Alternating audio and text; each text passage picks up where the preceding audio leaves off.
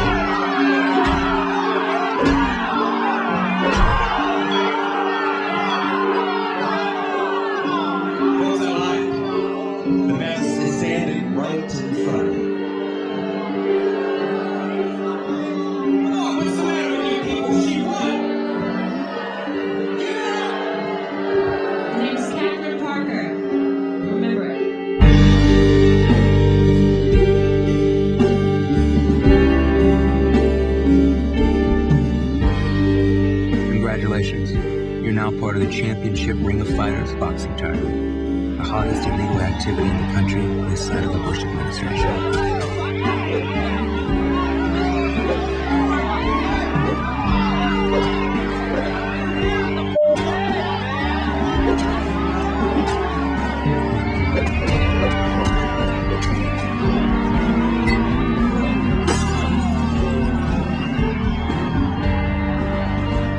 One thing you gotta remember about the CRF, there's always someone watching. It's Richter's show, and he doesn't mess around. You have five fights in the next three weeks, and after that, the championship. For the preliminaries, it's nothing but bare knuckle brawl, and you won't see a pair of boxing gloves until your fourth fight. Not even a referee until the semis. I'll keep you sharp and on your toes, but what I won't do is interfere with your fights. It's a question of ethics.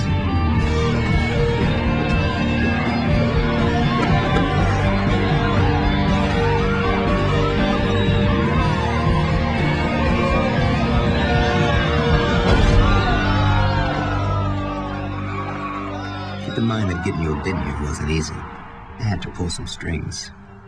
Even taking it out of your cut. What? I don't remember telling you to talk.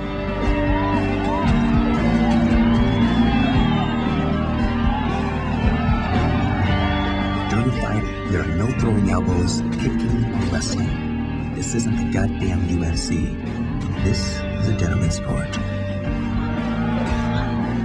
And you lose one fight, we go home with our dicks in our hands. There are no second chances in underground boxing. Remember that.